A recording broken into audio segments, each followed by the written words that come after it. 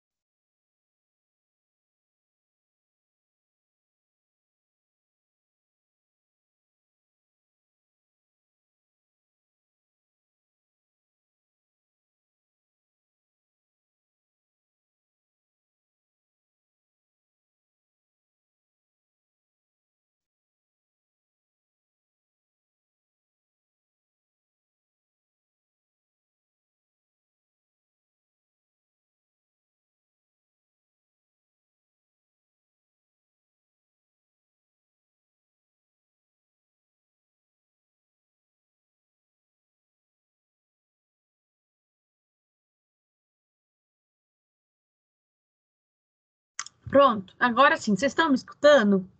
Deixa eu ver se eu consigo arrumar meu som. Sim. Ai, que ótimo. Não preciso mais por fone de ouvido. Muito melhor.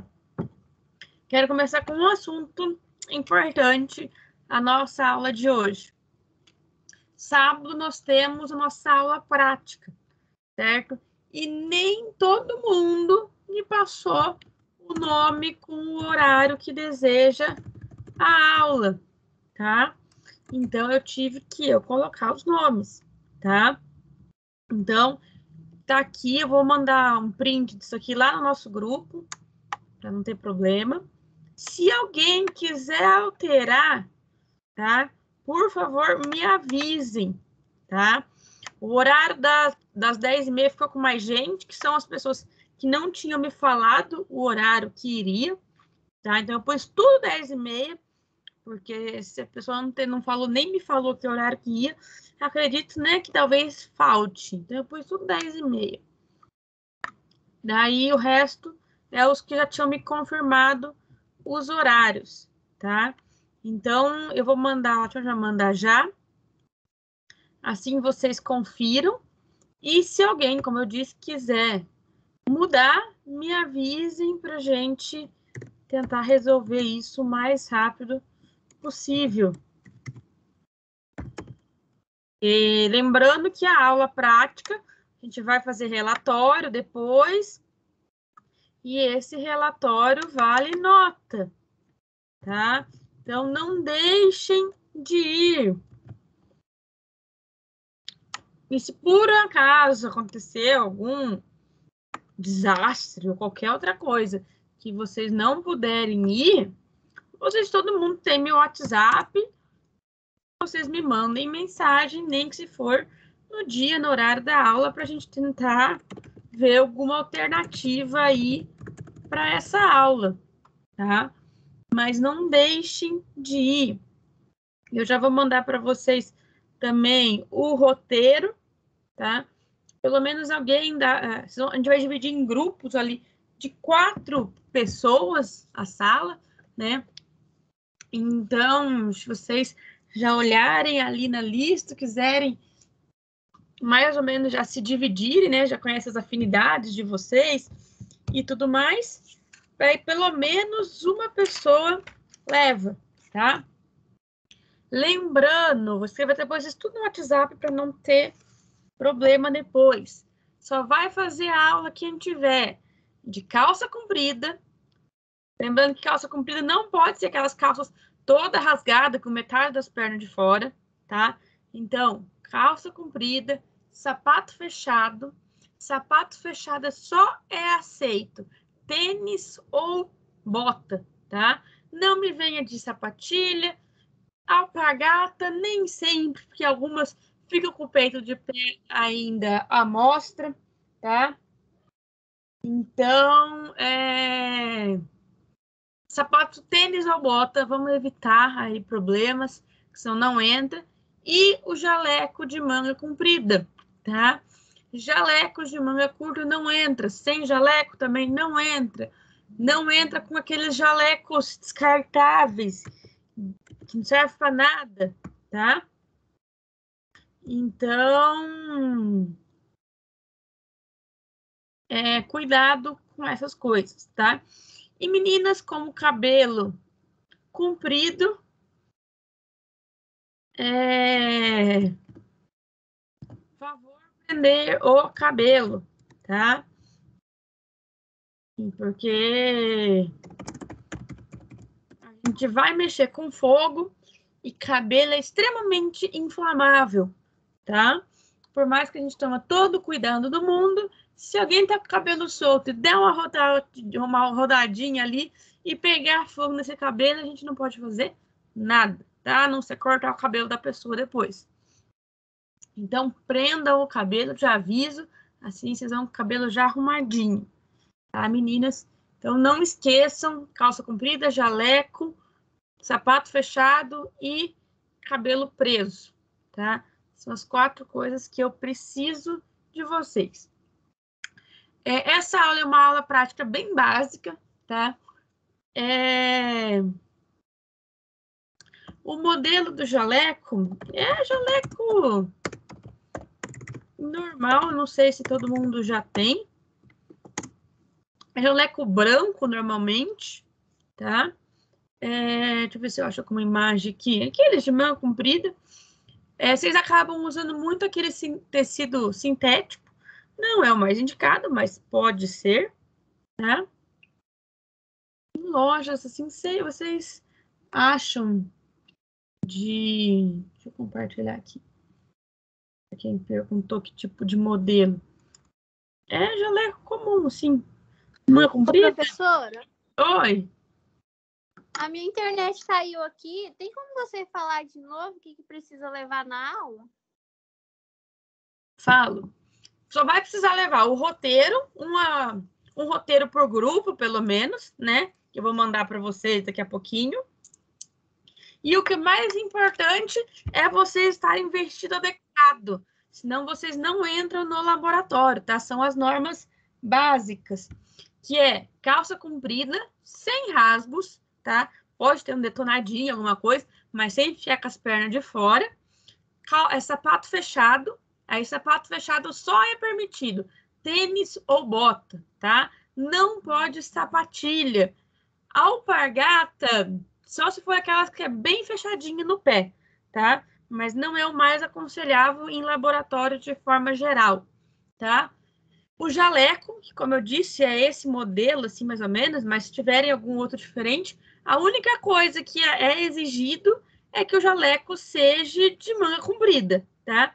E aí o modelo, tem modelo mais acinturado, tem modelo mais padrão, e aí fica a critério de cada um, tá? O correto, perfeito, seria se o tecido fosse de algodão. Só que é quase impossível a gente achar é jaleco de algodão ultimamente, tá? A maioria é tudo tecido sintético, mas a gente aceita, tá? O, o ideal em laboratório seria o de algodão. E a única coisa que eu falei é que as meninas vão de cabelo preso, tá? Cabelos muito compridos, principalmente, é, ir de cabelo preso para que, como a gente vai mexer com fogo, é, não ter problema de não ter problema de pegar fogo no cabelo, né? Então, vamos cuidar aí da segurança nível máximo. A gente vai ver na aula é, todas as vidrarias de laboratório, aprender a manuseá-las, tá?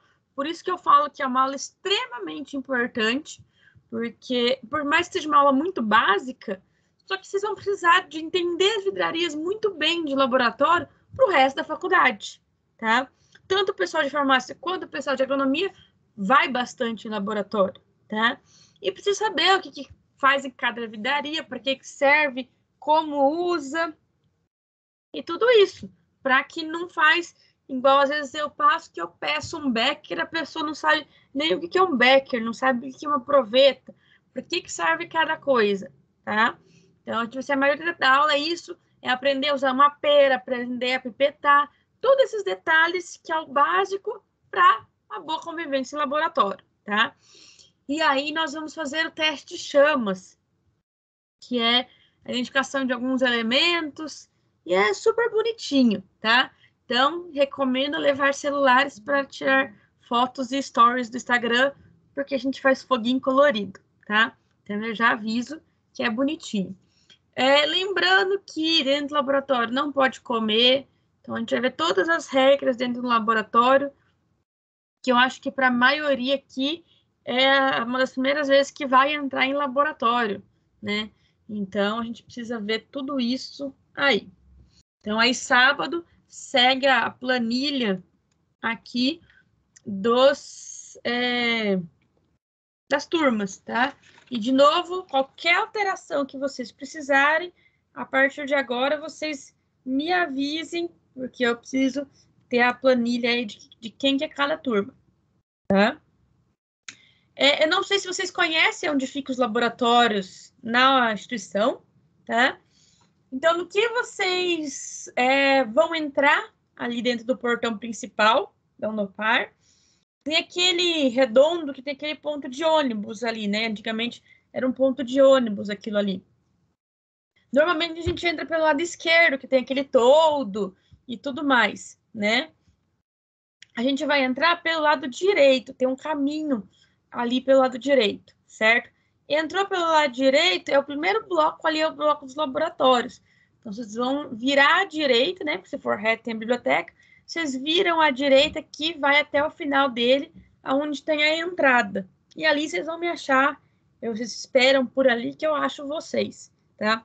Eu acho mais fácil vocês me verem e reconhecer, me reconhecer, que vocês me veem, pelo menos na câmera, já que vocês nunca abrem a câmera, fica bem difícil ver vocês, né?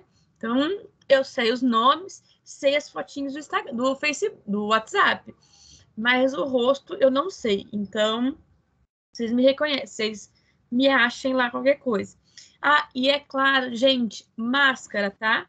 Sem máscara não faz aula ok? Se por um acaso alguém tiver algum sintoma de Covid no dia ou aí nos dias antes, me avisem também para a gente tomar as devidas providências, tá? E todo cuidado ali estará sendo tomado, tá? Deixa eu ver o que mais alguém me mandou mensagem.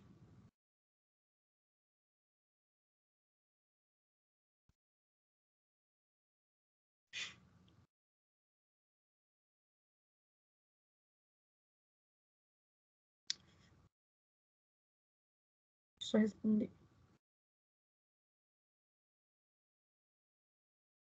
Então, vamos lá, tá? Já falei demais, vamos começar corrigindo os exercícios, tá? Meu nome tá errado.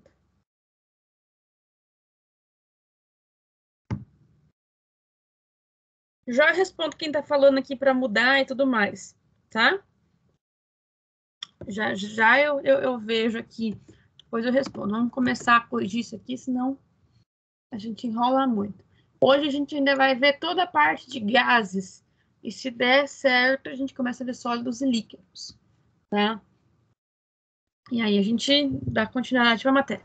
Ah, outra coisa importante, tá?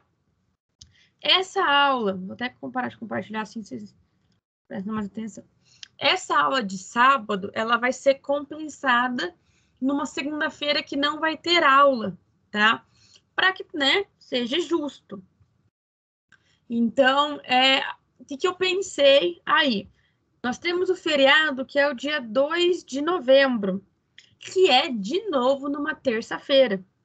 Aí eu pensei em jogar essa compensação do dia 23 para o dia 1 Assim a gente emenda aquele feriadão, tá? Então, acho que todo mundo concorda, né, em emendar o feriado. É, e assim não tem que ficar igual o outro feriado ali que tem uma no meio do, do feriadão, tá? Então aí a gente tem aula do dia 23, tem no dia 25, e o dia primeiro aí a gente folga e em compensação a esse sábado que nós estamos tendo de aula, tá? Então, ó, dia 23 nós temos aula, 25, aí dia 1 nós não temos, voltamos para a aula no dia 8 de novembro, tá ok? Para emendar aqui, tá? Aproveito que é dia 31 é meu aniversário, já emendo todo o feriado, porque, né, a gente não é de ferro. Então, vamos lá. Vamos corrigir esse exercício.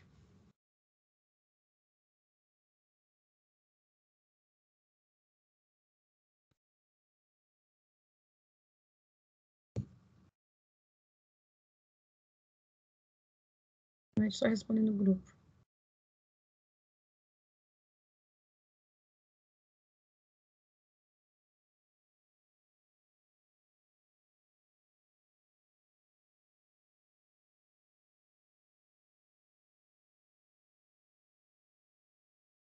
Vamos lá, tá?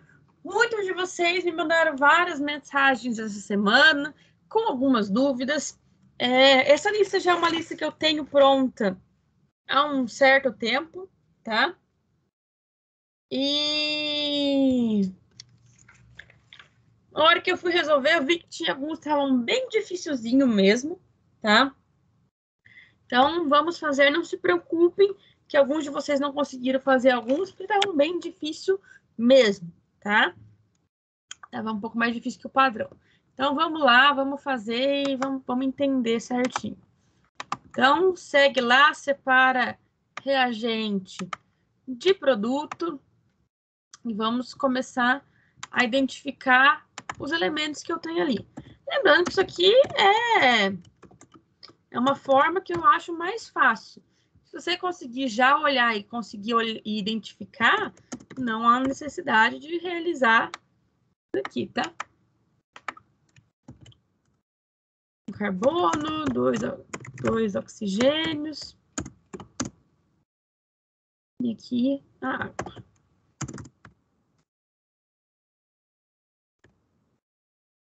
Então, vamos lá, vamos é, identificar todo mundo, tá? Vamos ver como que tá em cada lado. Aqui eu tenho um carbono, aqui eu tenho um carbono. Então, os carbonos estão ok. Próximo elemento que nós temos, hidrogênio. Aqui eu tenho quatro hidrogênios. Aqui eu tenho dois. Quatro dividido por dois é dois. Então, eu vou multiplicar isso aqui tudo por 2. Se eu multiplico aqui, eu também tenho que lembrar que eu vou colocar o 2 aqui. Então, eu vou ficar com quatro hidrogênios e dois oxigênios. Então, hidrogênio, check, deu certinho. Falta agora o oxigênio. Esse lado eu tenho dois. Agora que eu tenho dois com mais dois, quer dizer que eu tenho aqui quatro oxigênios. Quatro oxigênios, aqui eu tenho dois. Quatro dividido por dois é dois. Então, eu vou fazer vezes dois aqui. Se eu fiz vezes, ele sobe para cá. Então, vai dar aqui também os quatro oxigênios. E todo mundo fica ok. No caso desse exercício, ele pedia para somar todos os coeficientes. Então, vamos lá. Aonde não tem nada é 1. Então, 1 com 2, 3, mais 1, 4, 5, 6. Então, a soma aqui seria 6. Esse primeiro era bem tranquilinho, não tinha... Professora? Oi. Só não coloquei a soma daí, que eu esqueci. Ah, não tem problema. É que o exercício ele pedia, né? Mas se deu certo, tá? É o mais importante. Próximo, o do ferro, tá? Esse aqui já é um pouquinho mais chato, talvez.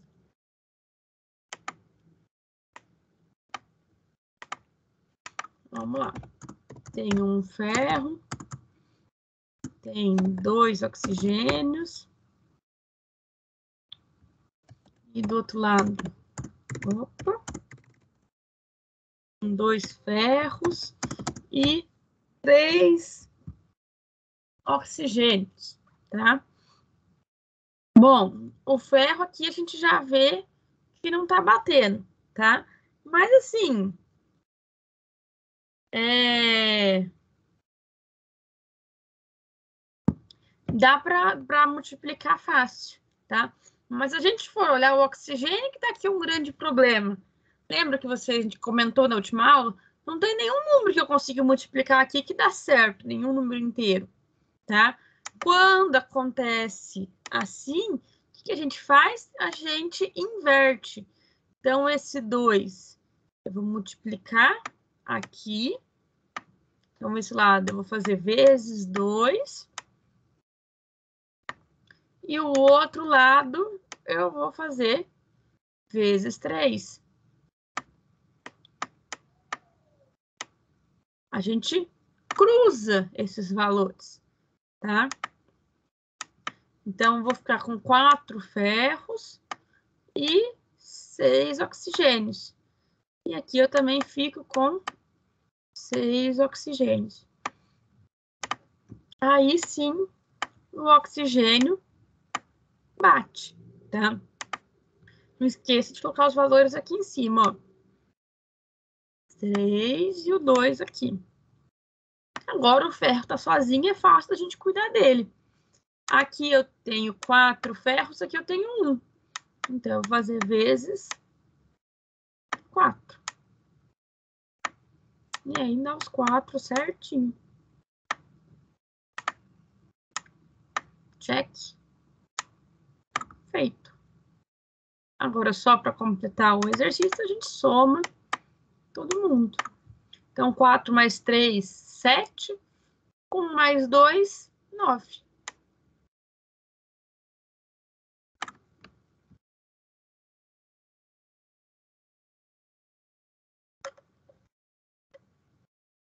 Uma dica que eu dou, tá? Sempre que tenha um elemento sozinho igual o ferro aqui, que ele tá único, deixa sempre ele por último, tá? Por mais que, igual aqui, ele é um metal, metal a gente normalmente costuma é, balancear por ele e tudo mais. Só como ele tá sozinho, ele aceita qualquer número. Então, deixa ele por final. qualquer coisa que eu colocar, ele vai aceitar. Vamos para o próximo. Se eu tiver muito rápido ou qualquer dúvida, vocês me dão um grito aí que eu volto, tá? Ou via aqui, ou via o WhatsApp, que eu já vou dar uma olhada em tudo. Vamos lá para o C8H18, tá? O nosso octano. Então, dividir aqui no meio. Opa, ficou tudo. Vamos dividir e vamos identificar todo mundo. Bônus, hidrogênio 18. Hidrogênio 2. Carbono 1, oxigênio 2, dois hidrogênios e um oxigênio, tá? Vamos começar com o nosso carbono. Então, oito carbonos. Aqui eu tenho só um. Então, fazer vezes oito. E aí eu vou ter oito carbonos e 16 oxigênios.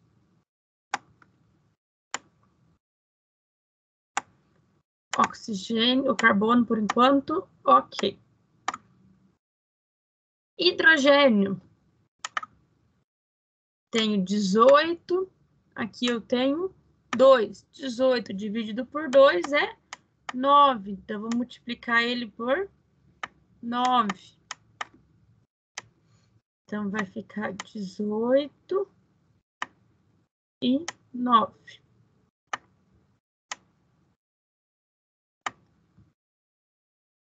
Então, hidrogênio estaria ok. Vamos somar os oxigênios. Eu tenho 16 oxigênios com 9. Hum, e agora? Deu 25. 25 e 2, não tem nada que dá muito certo, tá? Fazemos a mesma tática, multiplica cruzado. Então, 25, eu vou multiplicar aqui.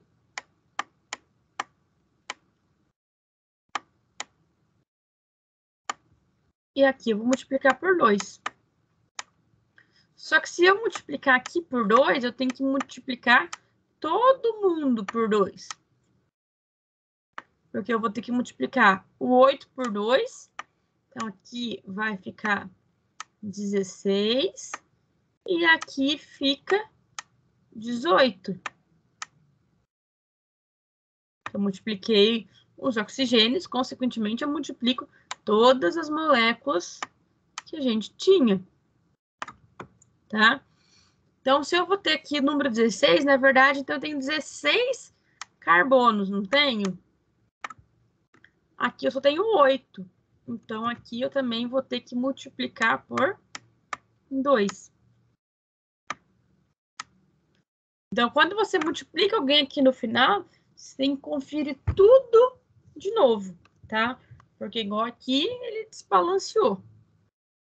Acontece com alguma frequência tá? É...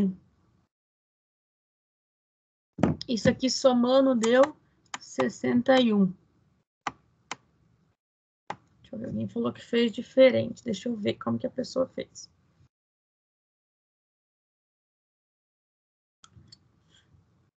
Deixa eu abrir aqui. Uhum.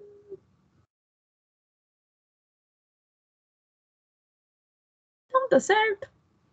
Deu certo, sim.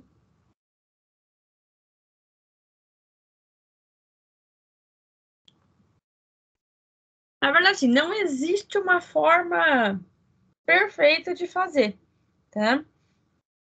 Mas é, cada um desse é a mesma coisa, independente. Professor. Oi. Lá multiplicou por dois, mas não faz a não multiplica 2 vezes 8, 16. 8 vezes 2, 36. Isso, multiplica todo mundo. Aqui eu não coloquei aqui, mas multiplica todo mundo aqui sim. Aqui 16, aqui dá 32. Aqui a quantidade de carbono também vai para 16. E a de oxigênio de hidrogênio. 36, né? Isso, vai todo mundo multiplicando. Ela colocou 32 lá. É, 36. Opa! A cabeça não deu certo. E aqui é o 36, obrigada. Isso mesmo. E aqui multiplica também para somar os 50. Tudo multiplica mesmo. Muito bem. Aqui 32. E aí a gente consegue conferir que deu certinho. Ó, 36 hidrogênio com 36, 16 carbonos com 16. Dá, deu, bateu redondinho aí ó, o exercício. Da amônia, tá? Esse tem hora que ele pega também.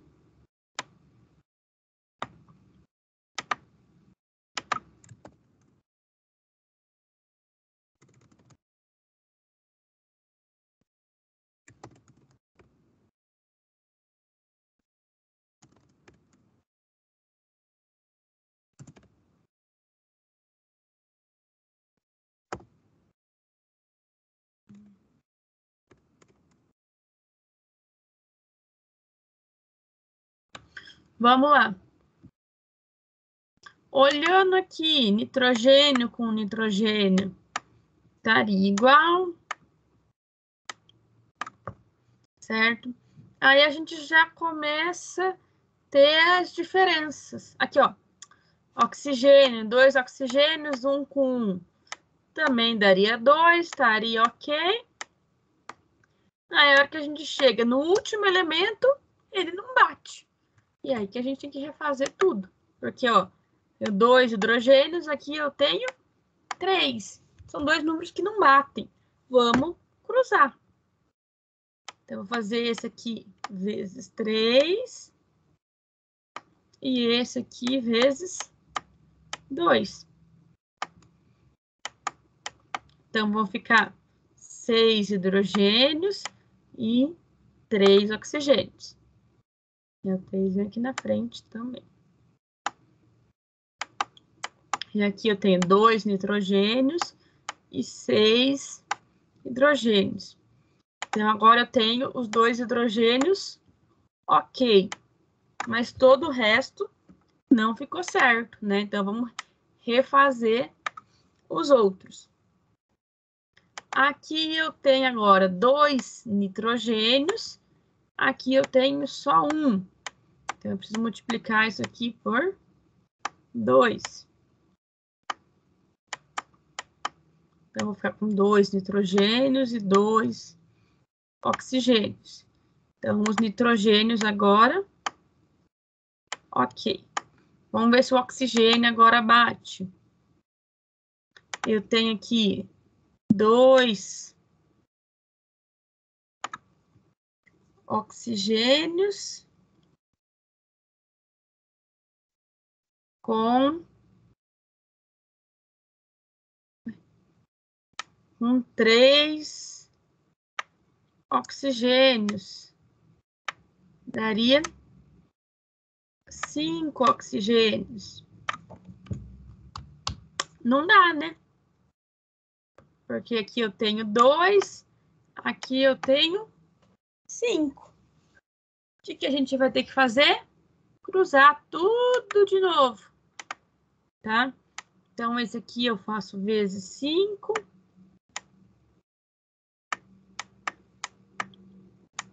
Dando 10 oxigênios. Esse lado eu tenho que fazer vezes 2. Então, 5 eu venho aqui, tá? E agora eu vou multiplicar tudo isso aqui vezes 2. Então, 2 vezes 2 vai para 4. 3 vezes 2 vai para 6. Vou multiplicar todo mundo aqui também, ó. Não esquece. 4. 4. Aqui vai para 12. E aqui vai para 6.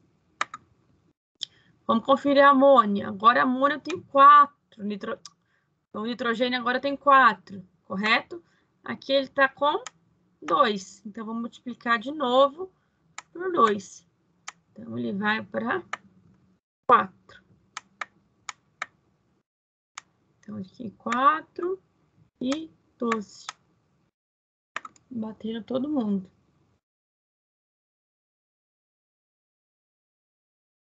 Eu não. Professora? Hum. Eu fiz ali o nitrogênio e o, o NUH, eu já fiz por 4 direto. Perfeito. Tá? É, daí deu a mesma coisa, tudo certo, né? Deu tudo certo. Tá ok, é. obrigada. Se tiver vendo que conforme vocês vão fazendo, vocês vão pegando um jeito muito mais rápido de fazer. Existe outros números que possa ter dado o balanceamento, porque o meu deu diferente. E está tudo balanceado. Você é, deve ter colocado é, os múltiplos disso daí. Quanto que deu? Deu 2 no NH, uhum. 9, 6 e 3. É, tá errado. Eu até mandei a foto só da, dessa equação para você no, no, no WhatsApp. Manda de novo para eu ver. Acabei de mandar, só ela, sozinha. Cadê? Não recebi ainda não. Deixa eu ver.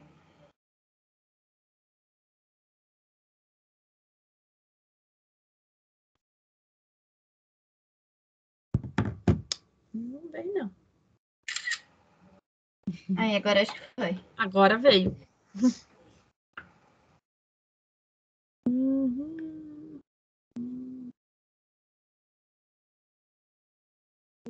Seis. Ah, descobriu o que você errou. Desde quando duas vezes um é igual a seis?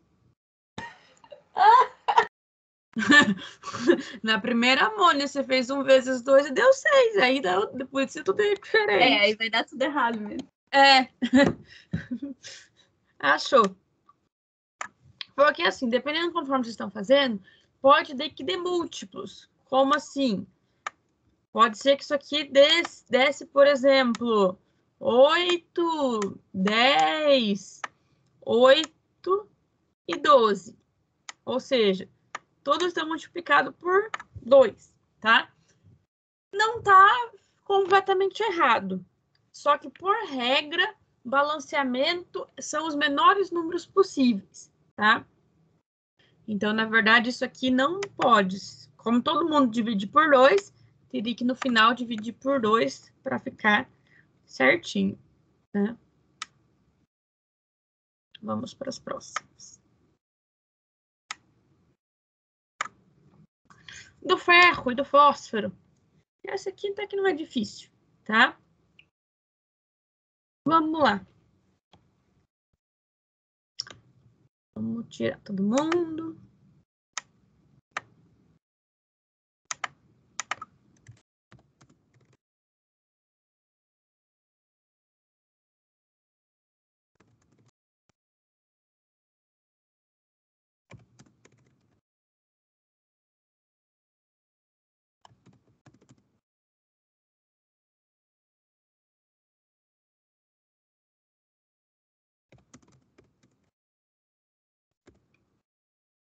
Vamos lá. Ó, o ferro dá para balancear. Quem que tá muito diferente aqui? Vamos começar por quem tá muito diferente. Talvez é mais fácil. Por exemplo, aqui o fósforo. Tem quatro fósforos de um lado e um fósforo do outro, tá? Posso começar por ele. Porque o enxofre está sozinho, depois eu balanceio o enxofre, tá? Então, eu vou para oito ferros e quatro fósforos. Multipliquei por quatro. Agora, aqui o fósforo com fósforo, Ok. Vamos para o ferro. Eu tenho oito ferros. Aqui, do outro lado, eu só tenho um. Então, eu vou multiplicar por oito. Oito ferros e oito enxofre. Então, o ferro tá ok. E falta só o enxofre, que um lado ele tá sozinho com um, então é fácil de gente identificar, e o outro lado eu tenho 18 enxofres. Então, que número que vezes 1 dá 18 é 18, né? Então, aqui dá os nossos 18. Professora, Oi! nessa eu já compliquei de uma maneira, Hum, porque o ferro e o fósforo ali embaixo eu fiz vezes 12 hum, dessa primeira. Aí desse Hum. outro lado eu fiz vezes 4. aqui? É. Hum, Aí desse outro lado do ferro e esse S eu fiz vezes 24. hum, Aí eu somei ali do enxofre, que daria 40 mais 24, 64. E balanceei ali do outro lado com 64. é... Talvez se complicou. Mas tem alguma coisa errada também, sabe por quê? Porque ó, todos esses números, não estou enganada, eles são divisíveis por 4. É. É o que eu falei, não está completamente errado. Mas assim, eu posso dividir tudo isso daqui por 4. Aham. Que aí ficaria 3, 16, 1 e 6. Tem alguma coisa aqui que não, não bate, tá? Porque, ó, eu ficaria com três ferros aqui também. Aqui, três fósforo e aqui... Ah, achei no que que você errou. Ó, quando você faz aqui, você ficaria com três fósforo e aqui com quatro. Não bate. O fósforo não bate, tá? Aqui, ó, 12 vezes 2 dá os 24 ferros, ok, bate com aqui. Mas aqui, ó, eu tenho 12 fósforo, correto? Aham. E desse lado, 4 vezes 4 dá 16 fósforo. Então, não bate. Verdade. Então, foi erro na multiplicação aí também. Se Tá. tivesse ficado aqui é, 16, talvez daria certo. Ficaria aqui 16 e aqui 68. Aí estaria mais certo. aí, dividindo por 4, daria as mesmas relações. Entendi, obrigada. Nada. Como o exercício pede para somar, 4 com 18 dá 22, com mais um, 23. 23 com 8, 31.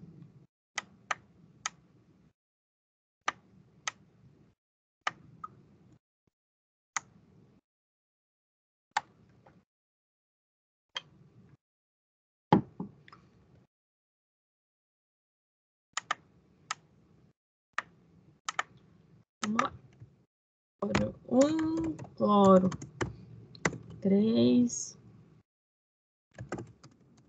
oxigênio 2, oxigênio 1, cloro 1. Aqui, ó, lembra da propriedade multiplicativa, ó. Eu tenho 3, oxigênios e 3 hidrogênios, tá? Esse 3 está aqui, multiplica os dois elementos que tá aqui dentro.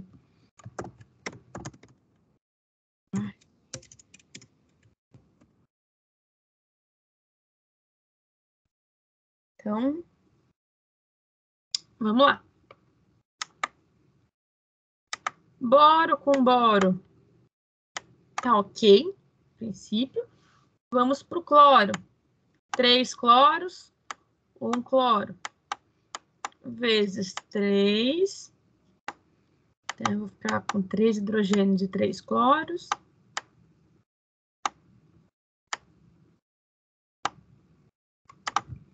Então, cloro, ok. Vamos ver oxigênio e hidrogênio. Aí, tem aqui três oxigênios, tá? Aqui eu tenho um. Multiplica por três. Então, ser seis hidrogênios e três oxigênios. Então, oxigênio deu certo. Hidrogênio, tenho três com mais três dá seis. E tranquilinha essa.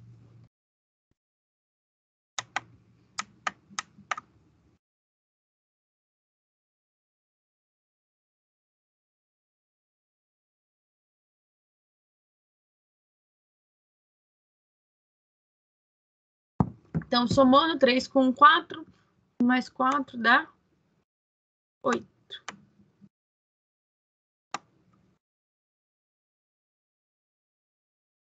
Mais um, vamos descendo. A nossa prata, tá? Nosso nitrato de prata é a decomposição do nosso nitrato de prata. Uma prata. Hidrogênio. Três oxigênios. A prata um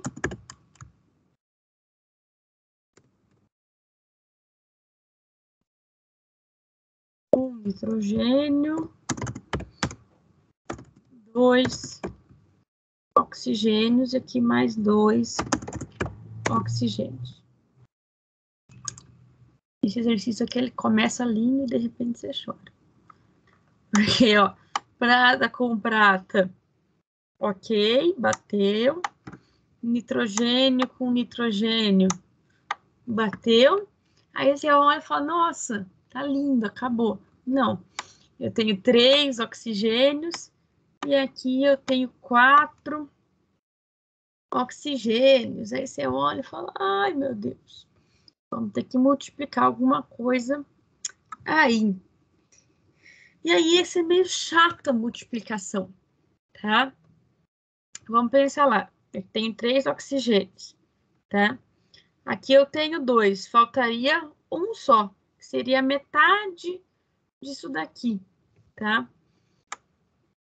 Aí a coisa fica meio complicada.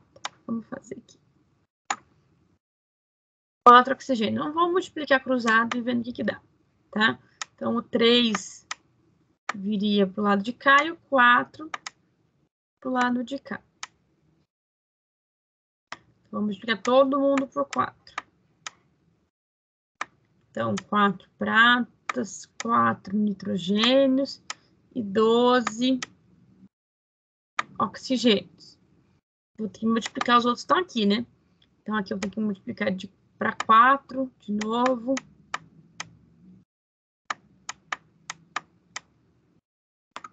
Nitrogênio também, tudo aqui por 4, né? Porque tenho 4 nitrogênios, preciso de 4 aqui.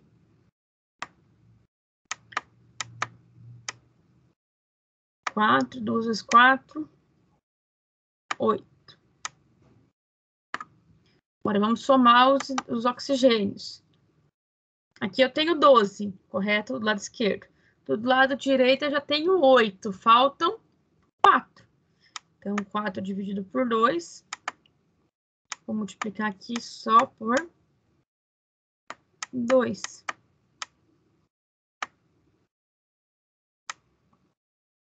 Aí lembra que eu falei que eu tenho que dar o menor número possível? Tudo isso aqui não é divisível por 2, então eu posso fazer. Então, na realidade, isso aqui fica 2, 2, 2 e 1. Um. Porque a regra é que o balanceamento seja a menor quantidade possível a relação entre as substâncias ali existentes. Professor, essa daí eu já multipliquei direto por dois já. Tudo bem, perfeito. Tem problema não. Essa aqui dá para fazer bem tranquilinho.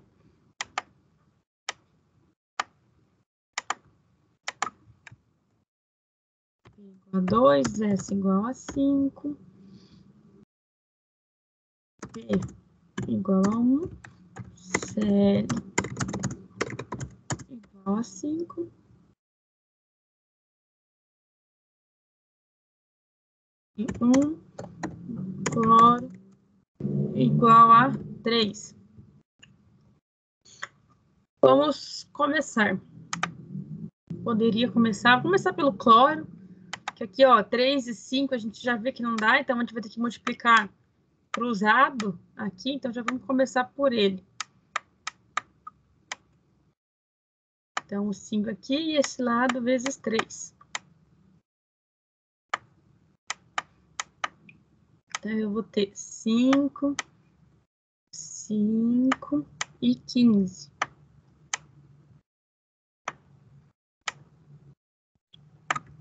E aqui que eu vou multiplicar por 3. 3 fósforo, 15 cloros. Olha só a mágica, que maravilha. Cloro 15, cloro 15. Enxofre 5, enxofre 5. Aqui eu tenho 5 fósforo. Agora fiquei com 3 mais 2 também 5. Todo mundo balanceado.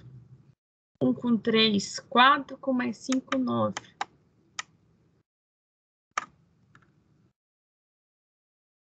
Beleza? Faltam mais duas para a gente terminar.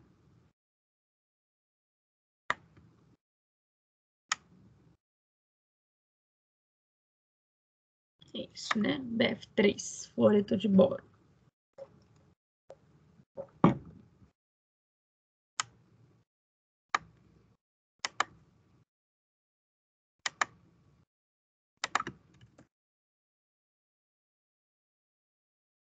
Versão 3. Sódio. Um sódio e um hidrogênio.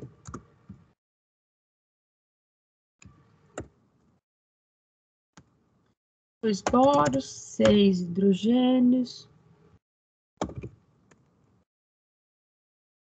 Sódio e um flúor.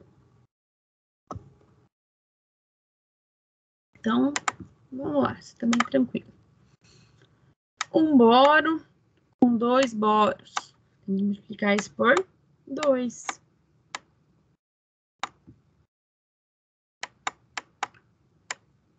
Dois boros e seis flúor. Então, dois com dois.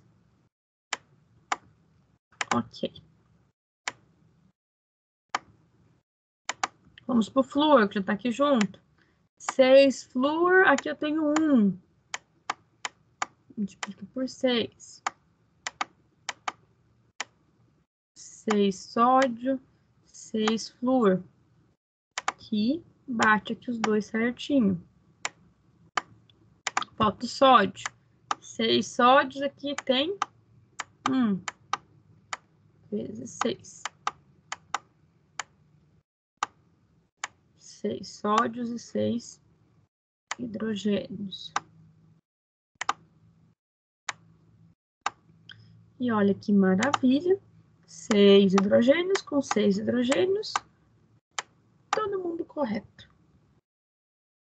A somatória, 2 com 6, 8, mais um 9, com 6, 15.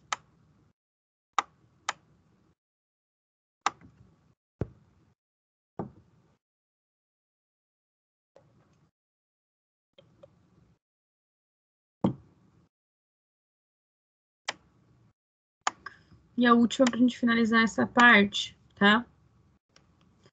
Carbeto de lantanídeo.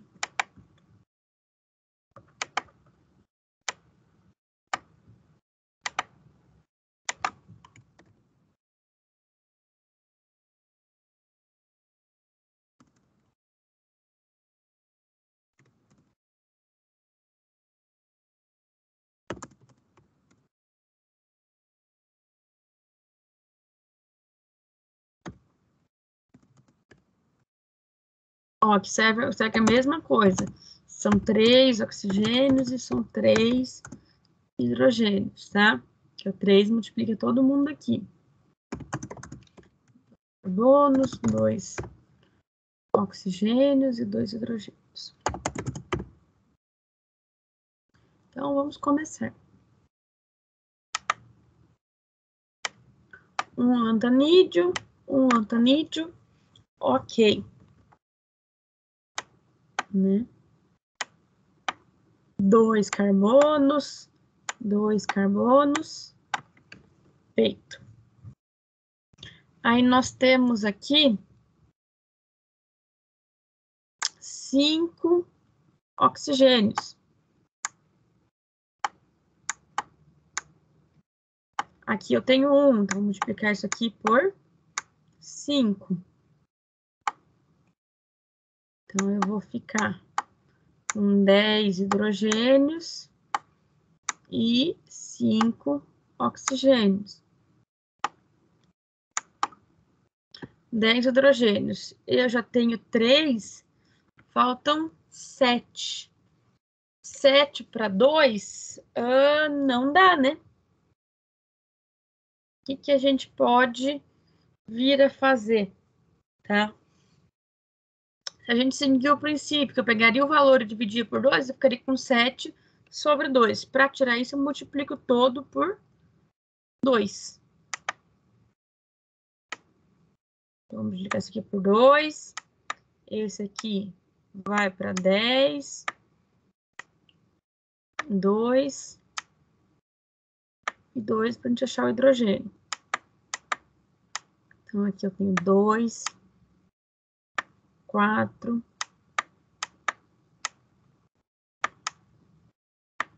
vinte, dez oxigênios, dois lantanídeos, ó, bate aqui certinho, seis oxigênios, seis hidrogênios, carbono, quatro, também confere aqui, oxigênio, quatro, então seis com quatro, uh, 10, é, 10, então 10 oxi, é, oxigênio, hidrogênio, tinha 20, já foram 6, faltam 14. 14 dividido por 2 dá 7.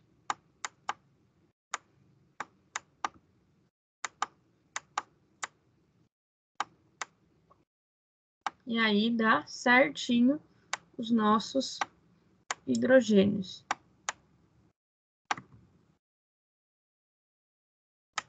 Isso ele pede para somar 2 com 10, 12, com mais 2, 14, 16, 16, com mais 7 dá 23, se não me engano.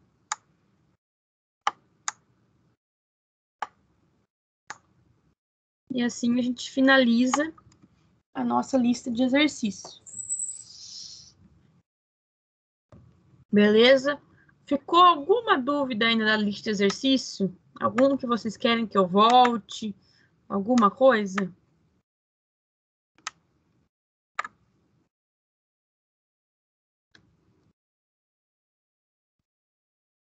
É, Para a gente entrar, a gente vai entrar na parte de gases agora. São já 8h20. Vamos fazer assim? Vamos fazer intervalo já? Assim, depois eu não tenho que ficar parando no meio da explicação, tá? Então, são 8h20, 8h35 a gente volta e vê os gases. Assim, eu não tenho que ficar parando a explicação no meio pro intervalo, beleza?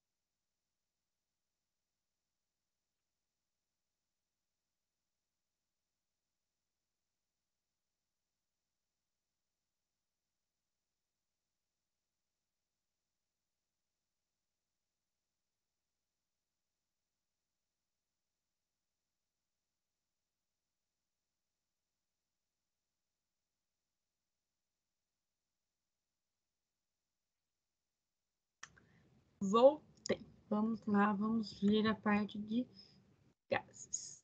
Ai, fechei, troca. Calma aí.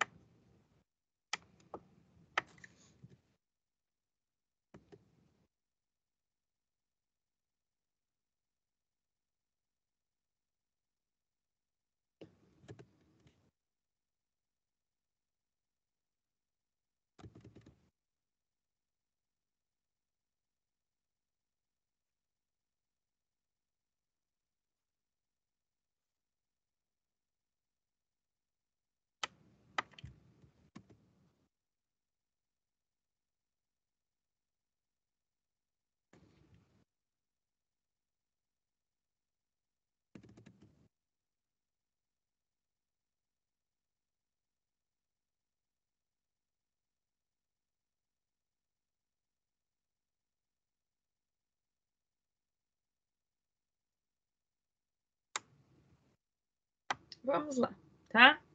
Estudo dos gases. Agora a gente entra na unidade 3 oficialmente, tá? Como eu comentei com vocês, a gente estava um pouquinho atrasada, mas nada que me preocupasse, tá? Porque essa unidade 3 e essa unidade 4 é super rapidinhos, tá? E dá para a gente ver tranquilamente, tá? Então, estudo de gases hoje a gente vai ver na unidade 3, nosso livro, os três estados da matéria: estado gasoso, líquido e sólido. Tá? É claro que tem algumas coisas que são mais conteúdo que outros, a gente vai vendo aí no decorrer da unidade. Tá? Primeira coisa, gases, tá? Que é o mais simples que nós temos de todo, tá?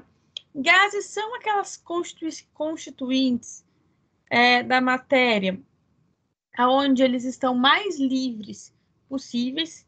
Então, cada é, molécula, seja ela é, simples ou composta, né? Ou seja, com ou com mais de um elemento, eles vão estar isolados praticamente, tá?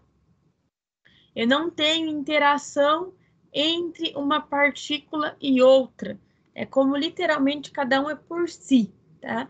E aí eles vão ter um movimento livre dentro de um espaço que ele ocorre, tá?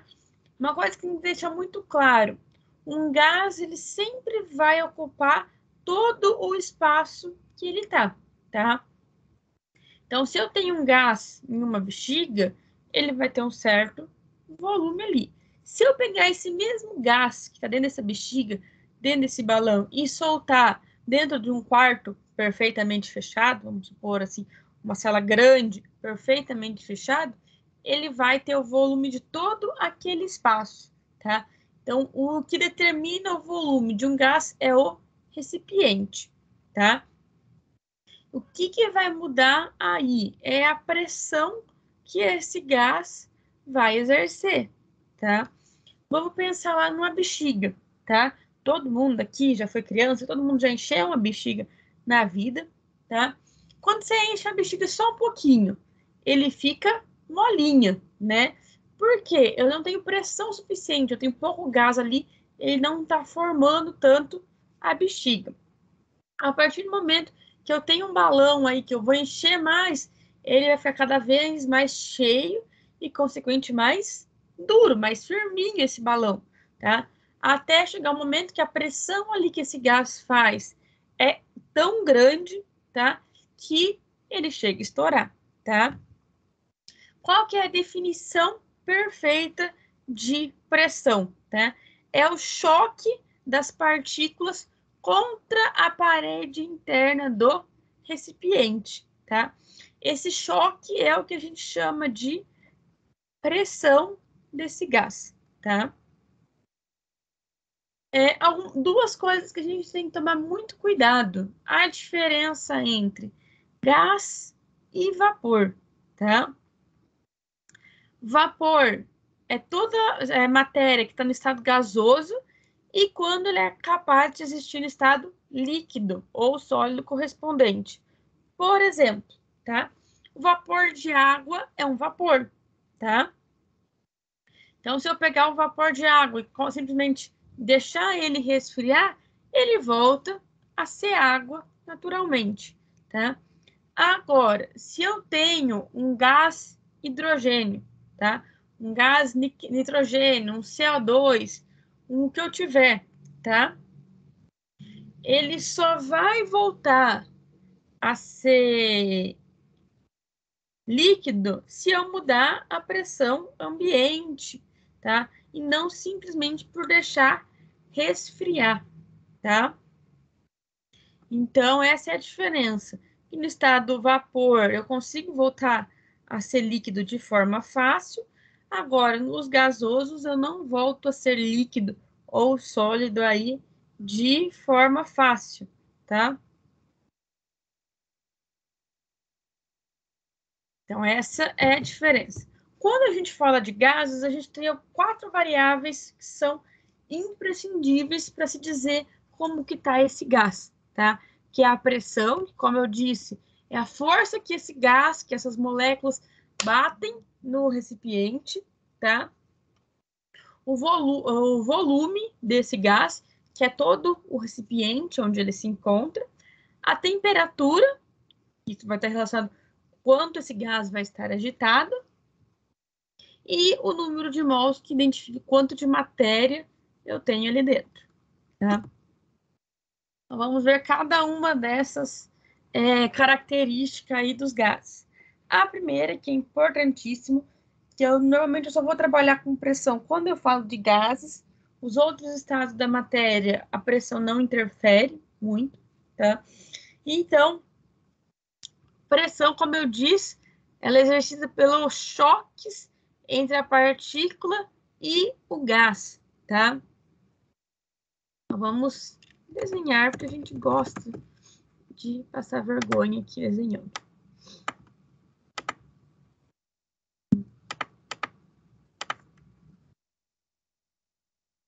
Vamos supor que eu tenho aqui uma caixa fechada. Tá? Dentro dessa caixa fechada, eu vou ter as nossas partículas de gases aqui.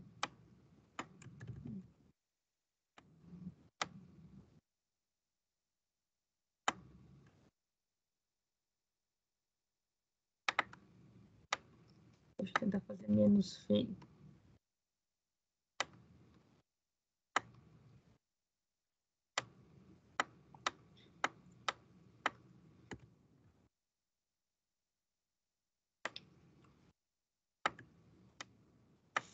Então, eu tenho aqui diversas partículas de gases, todas soltas.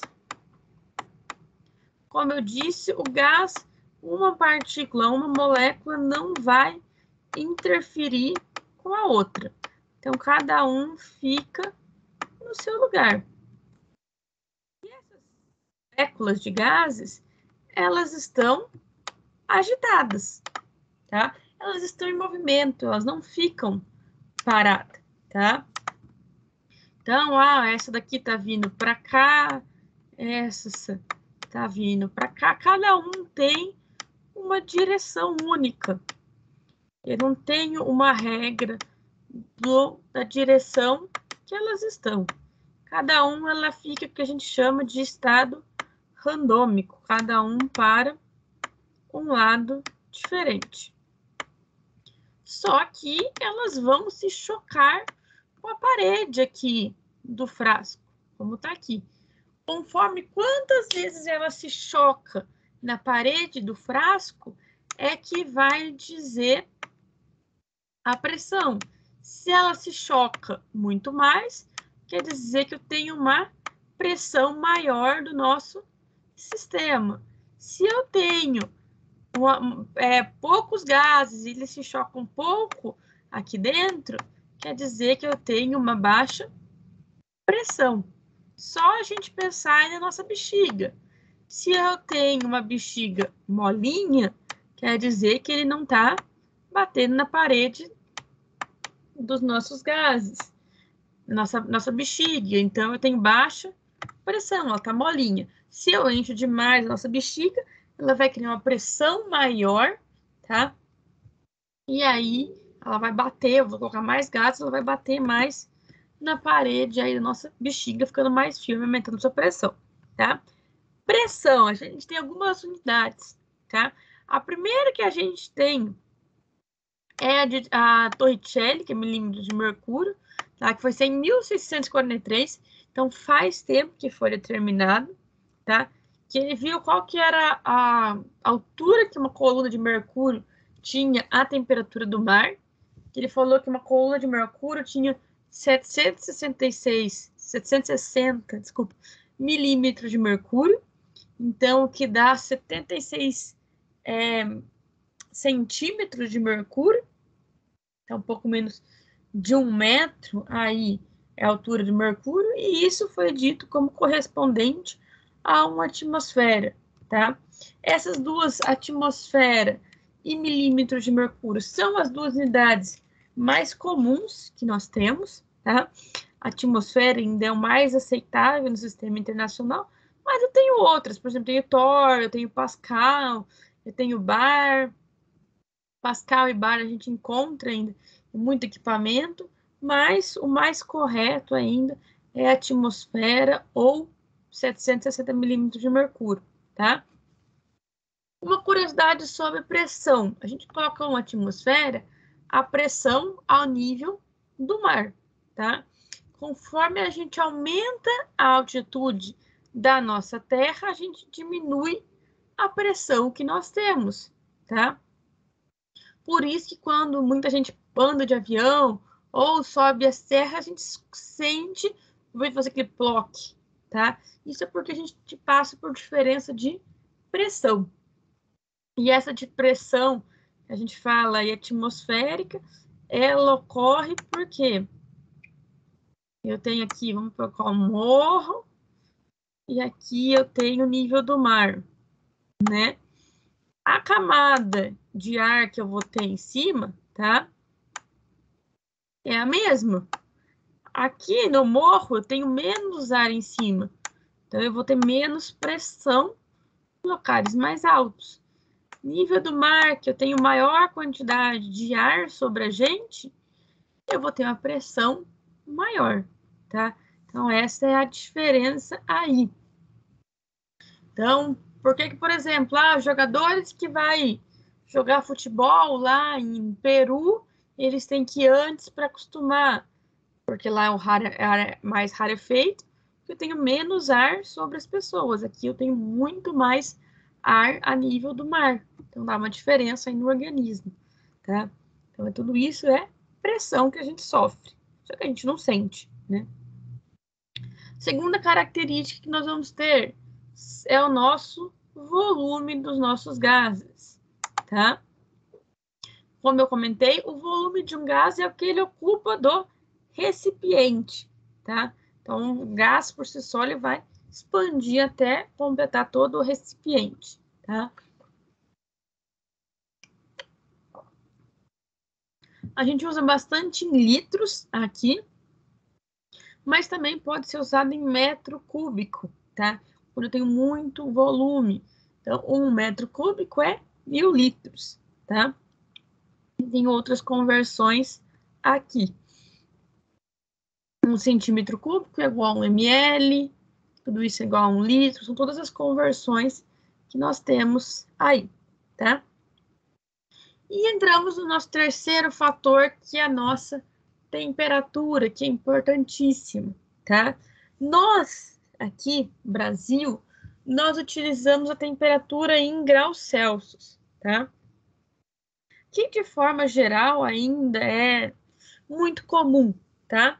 Só que em países, por exemplo, Estados Unidos, uh, Canadá, eles usam uma outra escala, que é o que a gente chama de temperatura em Fahrenheit, tá? Existe aí uma conversão entre uma e outra, tá?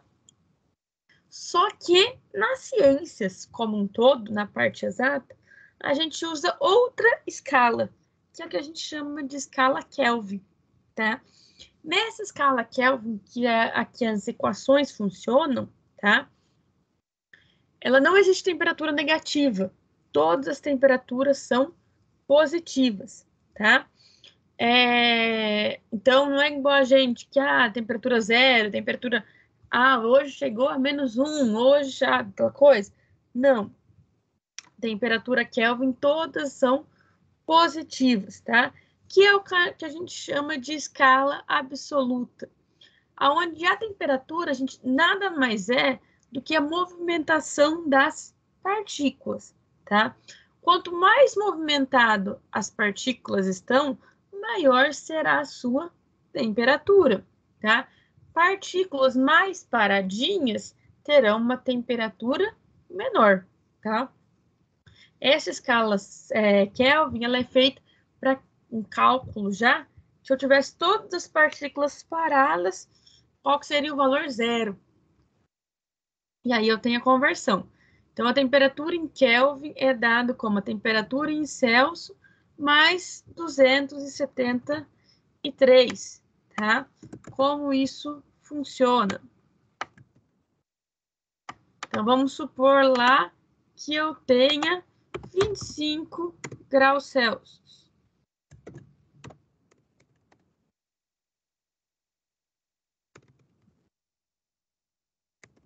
Graus Celsius. Opa, ficou 2, tá? Vamos lá.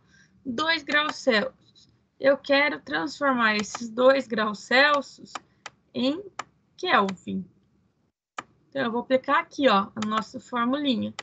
Temperatura em Kelvin vai ser igual a temperatura em Celsius, no caso, 2 mais 273. Só isso.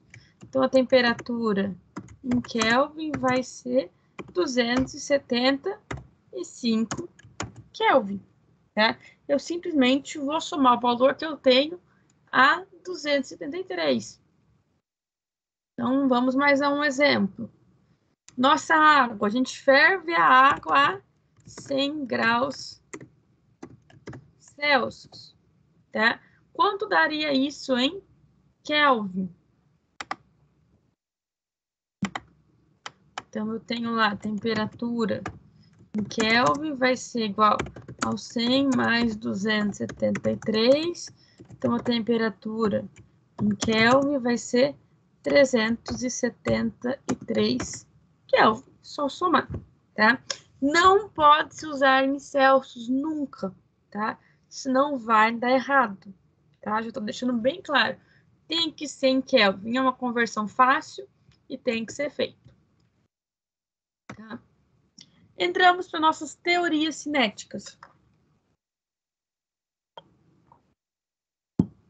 Como eu disse ali atrás, mesmo desenho quase, gases estão em, em contínuo movimento, ele não para, tá? Eu tenho um grande espaço vazio. Eles estão em todas as direções e sentido. Então, eu tenho aqui a mesma figura e a outra que eu fiz que tá mais bonita. Então, eu tenho aquele em todas as direções, tá? Se eu tenho um ambiente livre, um ambiente aberto, ele vai sair esse gás. Se eu tenho um local fechado, a gente consegue manter isso daqui. Então, ele vai colidindo nas paredes, causando pressão e mantendo-se aqui dentro, tá? E aí a gente entra nas nossas, nossas transformações, tá? Que aí a gente entra nos nossos cálculos. Aqui a gente vai ter cálculos, tá? Nessa parte de gases. Prometo que são os últimos cálculos que nós temos, tá? E aí acabou. Mas é bem tranquilinho esses gases, tá? Esses cálculos que nós temos. Primeiro tipo de transformação que eu tenho, que é a nossa transformação iso térmica, tá? Eu gosto muito de entender as palavras, tá? ISO quer dizer igual, térmica, temperatura. Então, eu tenho uma temperatura constante. O que, que são essas transformações de gases, tá? Eu tenho um gás em um certo estado da matéria. Então, ele está num recipiente com uma dada pressão, uma dada temperatura, um dado volume. E eu vou alterar esse gás e transformar um segundo estado da matéria, tá? Por exemplo, eu vou diminuir o seu volume, eu vou aumentar o volume. eu vou apertar, eu vou comprimir, eu vou soltar ele. Tudo isso vai alterar o estado do nosso gás, tá? Nesse caso, nessa primeira transformação que nós temos, eu tenho o que a gente chama de isotérmica. Ou seja, eu vou alterar pressão e volume, mas a temperatura ela é mantida constante, tá? Então, eu tenho um exemplo aqui. Tem uma dada substância, né? Que ela está a um certo volume e uma certa pressão, tá? Então, aqui V e a pressão 1. Aí eu vou lá e aperto esse gás. Ela vai diminuir o volume e aumentar a sua pressão.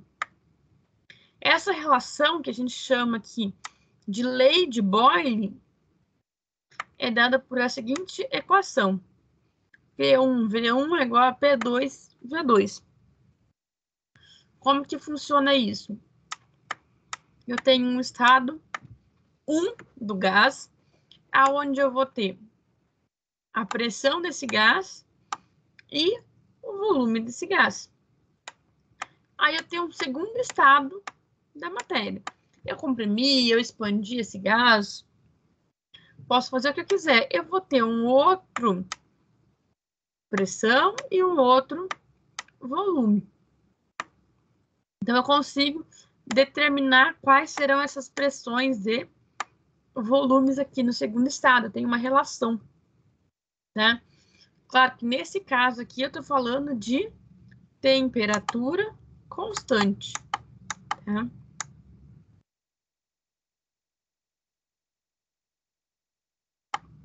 Vamos a exemplos. Vamos supor que eu tenho um gás, tá? Que no estado 1, ele tinha uma pressão de 2 atmosfera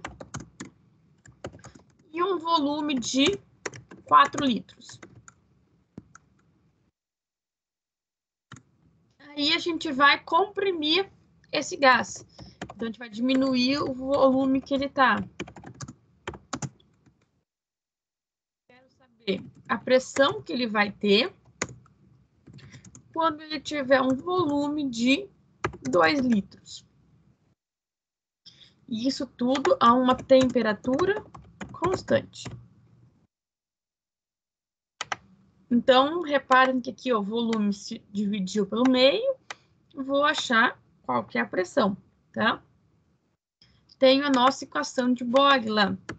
P1V1 é igual a P2V2, estado 1, estado 2. Então, vamos substituir.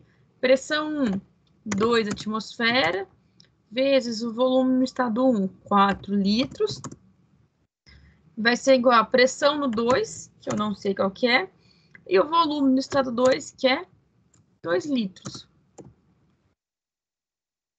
Então, vamos às multiplicações aqui. 2 vezes 4 é igual a 8. 8 que é igual a 2 vezes o P. Matemática básica aí. 2 está multiplicando o que eu quero saber. O 2 vai passar dividindo. Então, eu vou ter 8 dividido por 2 é igual a nossa pressão. 8 por 2 dá 4. Então, a nossa pressão é igual a 4 atmosfera. Então, eu tendo os dados iniciais, eu consigo ver como que vai ficar o nosso estado depois.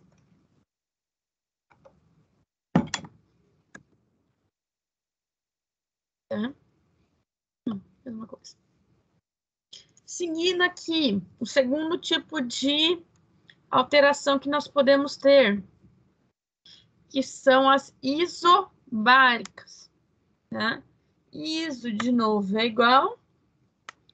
Bárica é pressão, tá? Então, eu tenho aqui a pressão sendo mantida constante, tá? Se a pressão é mantida constante, eu vou alterar apenas volume e temperatura, tá? Essa aqui é chamada lei de Gauss é, de Charles Guzac, tá? Que é essa daqui. Aonde não é multiplicada, é relação. Então, volume no estado 1 é dividido pela temperatura no estado 1 é igual a volume no estado 2 pela temperatura no estado 2, tá? Então, vamos fazer aqui para não ficar dúvida. Vamos lá.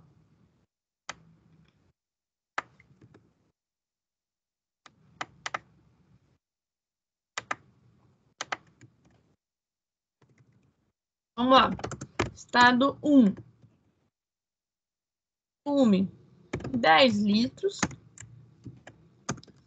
A temperatura de 25 graus Celsius. E eu vou ter o nosso estado 2 aqui.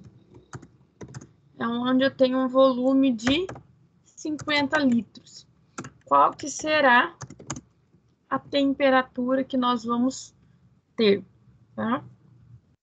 Então, estado 1, estado 2, volume, temperatura, volume, temperatura.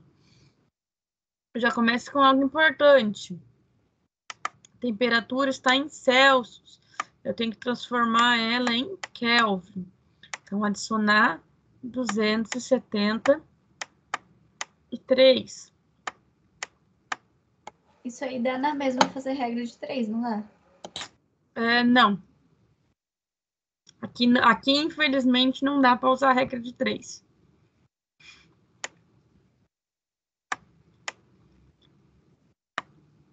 Duzentos e noventa e oito Kelvin.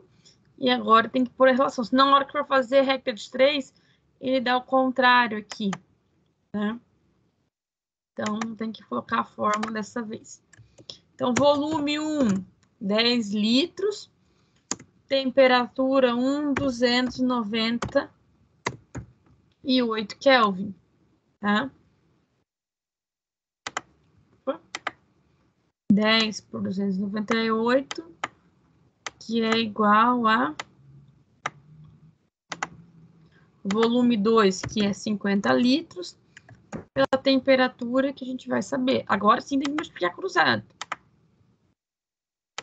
Então, 298 vezes 50 e 10 T. Não tem nenhum, nenhum, nada que seja menos que 273 graus? Por isso que é nada. 273 Kelvin, é isso? É, nada, é, na verdade, assim, nunca ninguém chegou, ne, acho que chegou em 200 e, menos 260 mas ninguém nunca chegou a menos 273. Nem nos estados mais perfeitos aí em laboratório, nada chega a isso. É a temperatura mais fria existente. Pode calcular, né?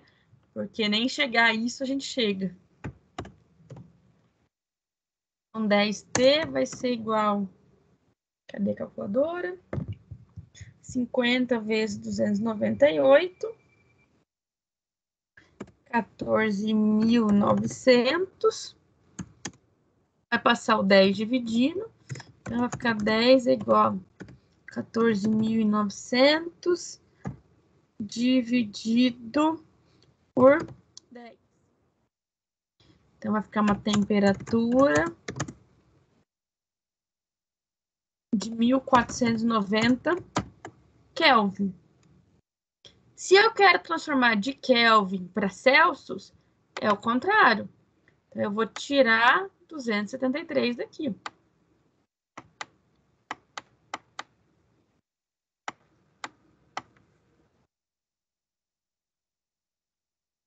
Então, eu, eu chego aqui na nossa resposta em Celsius de 1.200 Celsius. Uma boa variação aí de temperatura, né?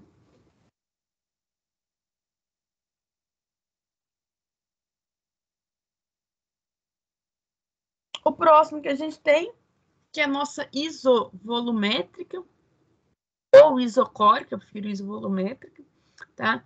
Iso igual, volumétrica é volume, então o mesmo volume, correto? Então, eu vou alterar só pressão e temperatura. Então, bem semelhante à que eu tinha anterior, eu tenho a relação de pressão e temperatura. Então, eu faço basicamente a mesma coisa que o anterior. Vou pular essa, tá? Isso porque a gente pode juntar essas três equações em uma única só, tá? Que é o PVT-PVT, tá? Não sei se alguém já tinha lembrado isso aqui de, de colégio, que alguém tivesse, tá? É algo bem comum que nós temos. Então, eu consigo achar todas as variáveis de um gás no estado 1 e achar o seu correspondente no estado 2. Vamos lá brincar, tá? Vamos supor que eu tenho um estado 1. Eu vou ter pressão, volume e temperatura. Vamos ver que inicialmente o nosso gás tinha uma atmosfera, litros desse gás, estava ocupando 5 litros, e 25 graus Celsius. Aí a gente foi lá nesse gás e alterou o recipiente, chegando aí uma pressão de 0,5 atmosfera e um volume de é, 10 litros. eu quero saber qual que é a temperatura que esse gás atingiu, tá? Vamos calcular.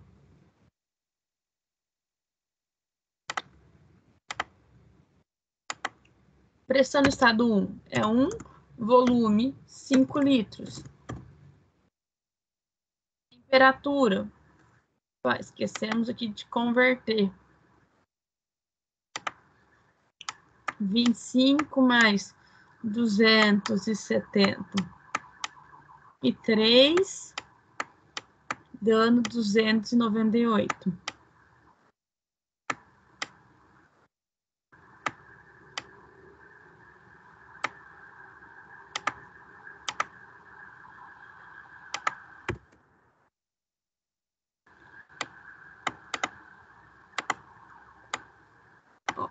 Primeiro, parte, que é igual. Pressão aqui 0,5, volume 10 litros. E eu vou calcular qual que é a temperatura que nós temos. Vamos aos cálculos agora. 5 vezes 1 dá 5 e 0, 5 vezes 10. 5 por 290, opa.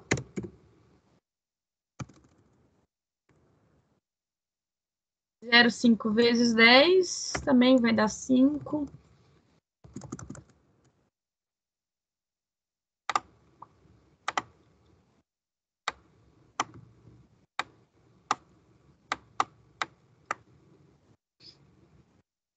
Vamos continuar, dá para sair, daqui direto, mas vamos lá.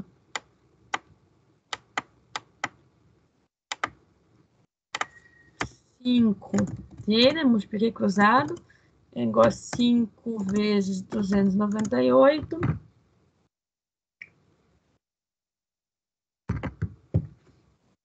Então, 5T 490, T 1490 dividido por 5.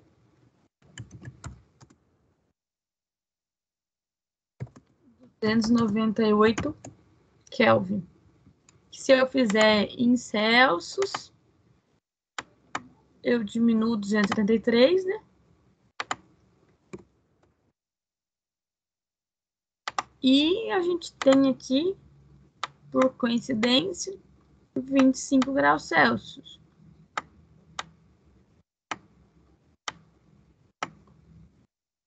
Que a gente pode dizer aqui? Se inicialmente eu tinha 25 e aqui eu também tenho 25, mesma temperatura, correto? Então, a mesma temperatura quer dizer que é uma, um processo isotérmico. Então, mesma temperatura que nós temos. Exemplo do, do que isso aqui serve muito, tá? Processos de refrigeração, tá? Seja eles aí geladeira, ar-condicionado e tudo mais. É, tudo isso a gente consegue refrigerar e nós temos um gás, né, nesses equipamentos, aonde ele está sobre uma pressão. Aí a hora que a gente diminui a sua pressão e aumenta o volume dos gases, obrigatoriamente a sua temperatura vai cair, tá? E aí no que ela cai, ela gela o ambiente. É nesses estados aí de gás que a gente tem essa relação aí de temperatura 1 e 2 que a gente tem. Aqui Priscila. tem mais... Oi.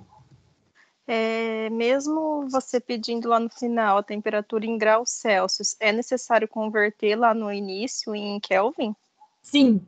Se você tentar fazer aqui em Celsius, ele dá errado. Tem que ser em Kelvin. Beleza. Tá, obrigada. Vamos ficar aqui três exercícios no meio dos slides, que eu já fiz todos eles, alguns parecidos aqui. Depois vocês tentam fazer, tá? Não precisa entregar, não. Mas para vocês tentarem fazer. Senão não dá tempo da gente ver tudo hoje. Volume molar. O que, que seria o volume molar? Como o próprio nome diz, tá? O volume de um mol a gente tem quanto saber quanto que ocupa um mol de um gás, tá? Ele é constante, independente do tipo de gases, tá? Não importa, tipo, que é uma vez que não vai ter interação entre eles.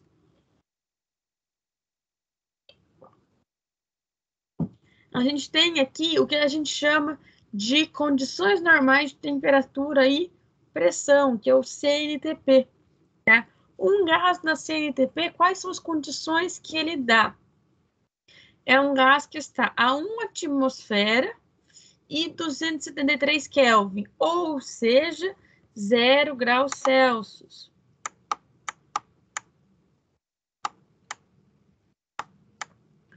Todo gás que está a CNTP, então a 1 atmosfera, pressão do mar e 0 graus Celsius, todo gás ele vai ocupar 22,4 litros, tá?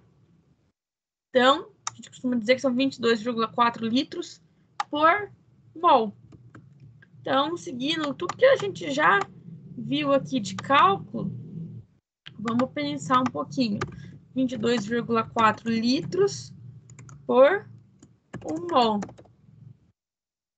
Se eu tenho a nossa nosso frasco lá, 3 mols.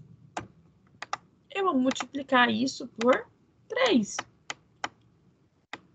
Aqui sim eu consigo fazer uma regra de 3, porque eu tenho aqui o que a gente chama de relação entre unidades. Os outros eu não consigo fazer regra de 3 porque eu não tenho relação, tá?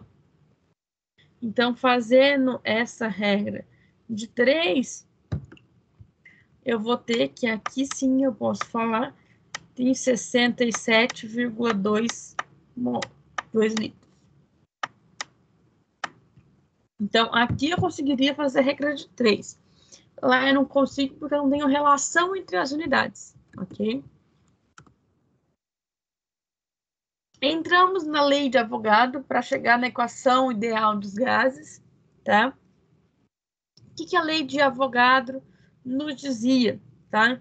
Vem lá do número de Avogadro, que a gente já falou lá atrás, tá? Que volumes iguais de qualquer gás nas mesmas condições de temperatura e pressão apresenta a mesma quantidade de mols. Né? É só a gente pensar que as relações, se em certas quantidades, em certas é, características ali de pressão e temperatura, eu tenho um volume independente do gás, a relação de todas essas unidades vai ser a mesma, tá? Então, aqui raramente vai depender o número de gases, tá? Aqui tem todo um processo de dedução, eu não vou chegar nele, mas eu vou chegando na equação dos gases perfeitos, ou equação dos gases ideais, tá? Que é essa daqui, é o nosso tal do PV NRT, tá? Ele explica todos os gases ideais que nós temos.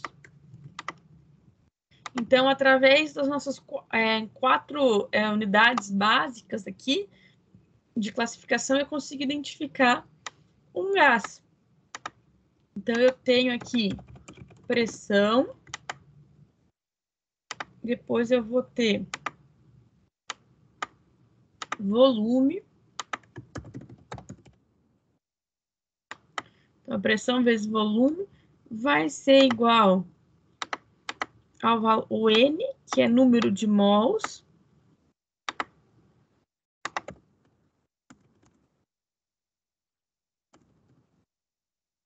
que a gente já falou de número de mols lá atrás, tá? R, R que é o mais diferente, ele é uma constante, então é sempre o mesmo valor para todos os gases. E aí nós temos o T, que é a nossa temperatura.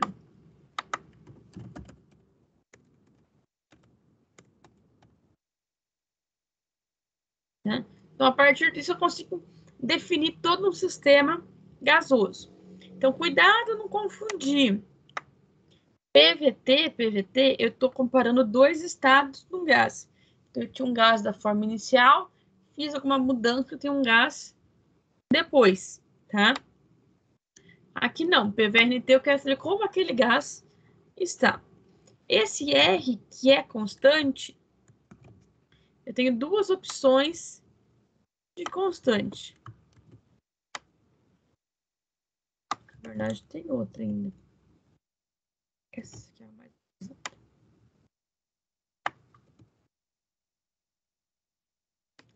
Tenho três valores possíveis de R, tá? Tudo vai depender de qual unidade a gente vai estar tá usando. O mais comum de todos é esse daqui. Aonde eu tenho pressão em atmosfera. Lembra que eu falei que é o mais comum que nós temos. Mas se eu estiver trabalhando em milímetros de mercúrio, eu tenho que usar essa e se eu estiver fazendo em Pascal, é essa, mas é bem raro a gente utilizar. O mais comum é essa daqui, que é o 0,082. Vamos para um exercício para ficar mais claro. Tá? Não, esse exercício não é bom. Aqui. Qual o volume do de um balão? Então, eu já sei a minha pergunta eu quero saber o volume. Deixa eu copiar lá para o outro que é mais fácil.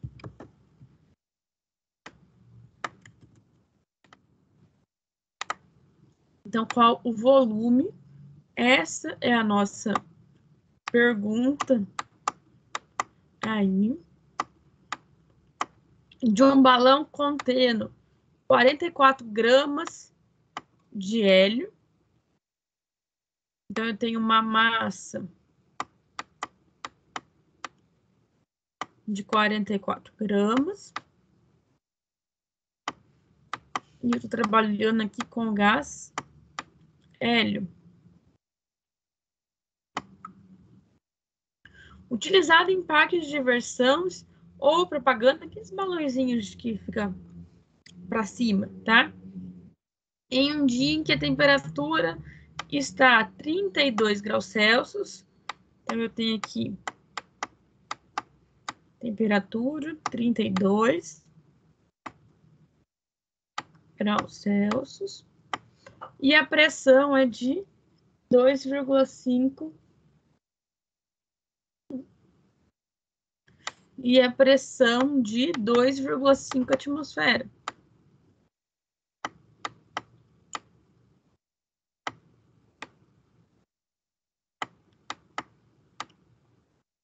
Aqui ele já dá o valor de R e a massa molar do hélio. Vamos para a nossa equação. Nossa equação é essa daqui, não é?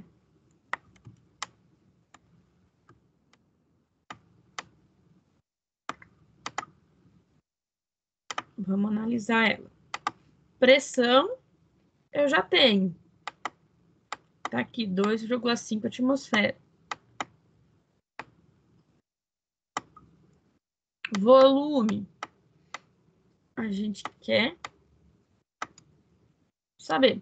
Número de mols. Eu tenho aqui a massa, que não é a mesma coisa que número de mols. Vamos lembrar lá que é número de mols.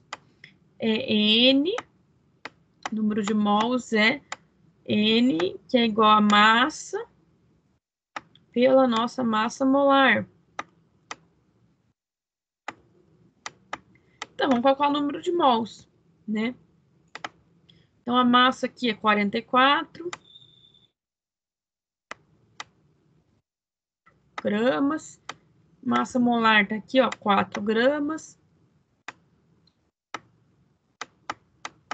Então, dá 11. Então, achamos já o número de mols aqui que faltava. A constante já é esse valor aqui. E temperatura, como sempre, em Kelvin. Aqui ele está em Celsius. Então, eu vou pegar aqui 32 mais 273.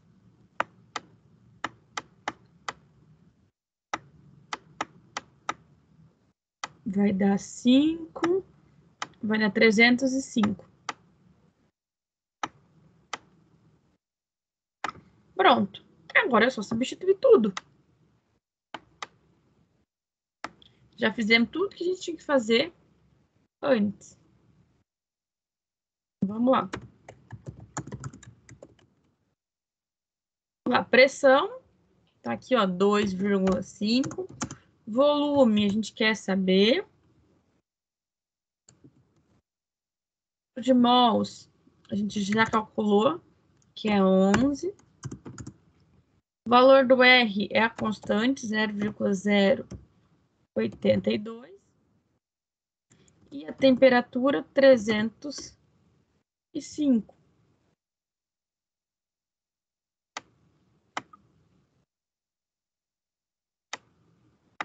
Agora é só basicamente matemática. Então, 2,5 V é igual. Vamos multiplicar.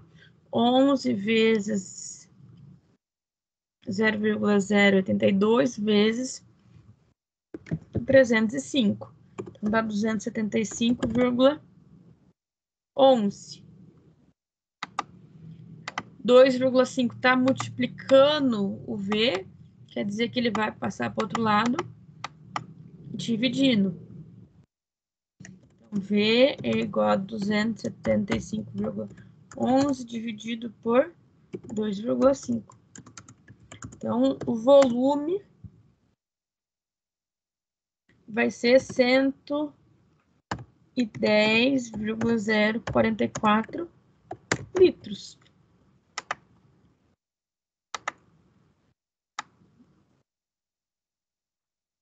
É só essas equações que nós temos. Ele dá um certo trabalhinho que a gente tem que tomar cuidado aos detalhes, mas não é tão difícil, certo? Dúvidas?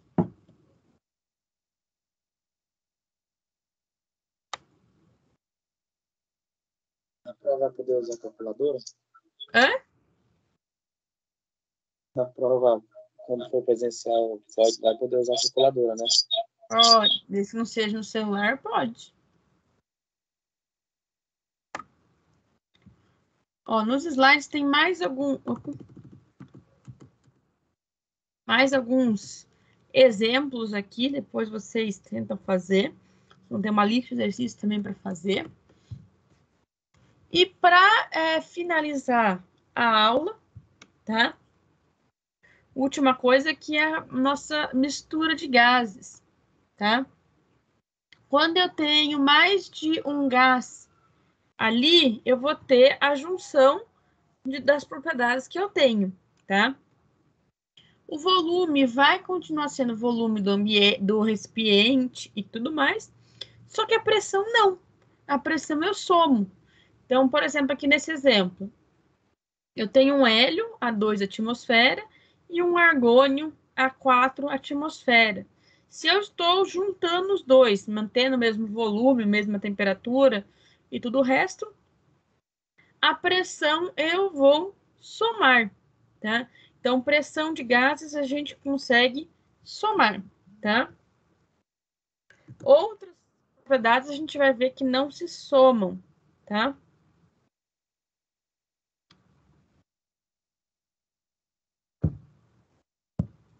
Outra coisa que nós temos é a pressão parcial, tá, tá, tá, tá.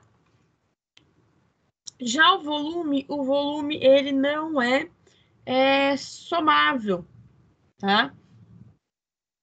O volume tenho que ver pela fração molar. O volume parcial é quanto esse gás ocuparia de volume naquelas condições se ele tivesse sozinho, tá? E aí eu tenho o que a gente chama de fração molar, que nada mais é que é o número de mols do gás isolado pelo número de mols dele sozinho. E aí a pressão vai ser relacionada diretamente a isso.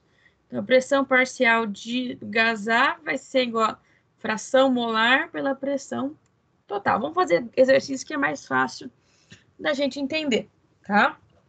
Eu juro que é mais fácil do que parece. Então, vamos lá. Em um gás, em um balão contendo 48 gramas de oxigênio e 24 de hélio e 160 gramas de dióxido de enxofre. Primeira pergunta, calcular a fração molar desses gases, tá? Então, o que, que é o cálculo da fração molar? Fração molar nada mais é. Se eu quero saber do gás A, vai ser número de mols do gás A pelo número de mols total que nós temos. Os gases que nós estamos aqui, eles estão em massa. Então, a primeira coisa é transformar em mols. Então, eu tenho lá o nosso oxigênio, que são 48 gramas. O nosso hélio, são 20 gramas. E o nosso dióxido de enxofre, 160 gramas. Eu vou dividir a massa deles pelas massas molares. Então, vou pegar 48 dividido pela massa molar dele, que é 32 do oxigênio. Fazer a mesma coisa para o hélio, a massa molar dele é 4. O óxido de enxofre é 64. E aí a gente vai ter o número de mols de cada um. Então, calculadora na mão. 48 dividido por 32. 1,5 mol de oxigênio. 24 dividido por 4 é 6. E 100, opa, 160 dividido por 64 2,5 mols de dióxido de enxofre. Então, já achei o número de mols. Quantos de mols eu tenho total dentro desse frasco? Então, eu vou somar. 1,5 com 6 dá 7,5. 1 mais 2,5, 7,5, 8, 10 mols.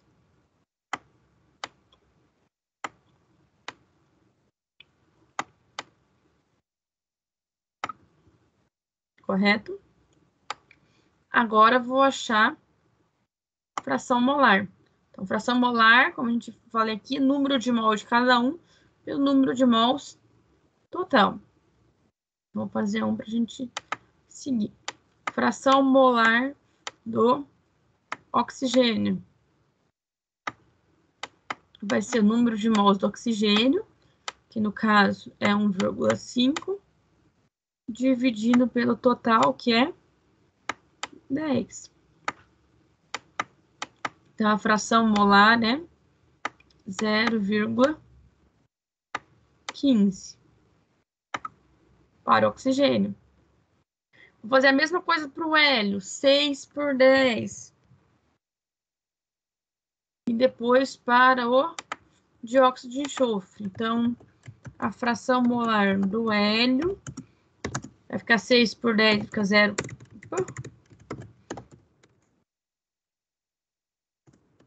0,6. A fração molar do SO2 vai ficar 2,5 por 10, 0,25 de fração molar. Então, a primeira letra A a gente já achou. As três frações molares. Se a gente tiver dúvida, vai perguntando, tá? E a letra B, ele pergunta qual que é a pressão parcial de cada um desses gases, se eu tiver no total mil milímetros de mercúrio, tá? Então, vamos lá.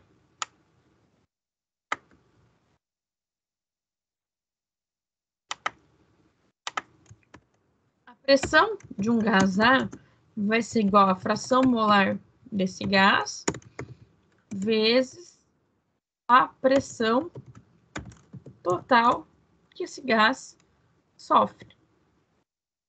Então, vamos fazer para cada um. Vamos fazer o oxigênio primeiro. Oxigênio. Fração molar do oxigênio, 0,15, que a gente já calculou, vezes a pressão total, que é 1.000 milímetros de mercúrio. Então, multiplicando aí, eu tenho que são 150 milímetros de mercúrio. A resposta, vou fazer a mesma coisa para os outros. Então, para o hélio.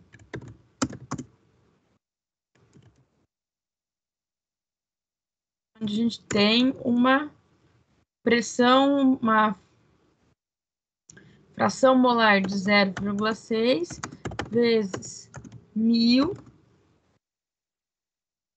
Eu tenho aqui que vai ser 600 milímetros de mercúrio. E por último, SO2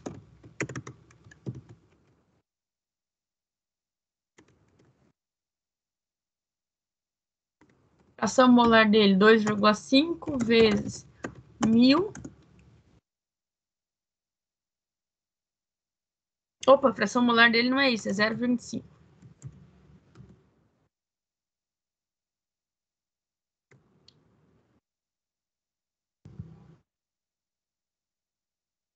Resultando aqui em 200.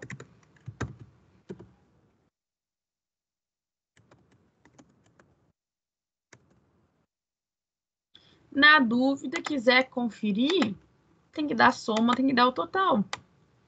Então, 150 mais 600, 750, com mais 250, a gente volta ao início dos mil milímetros de mercúrio. Que era o total inicialmente.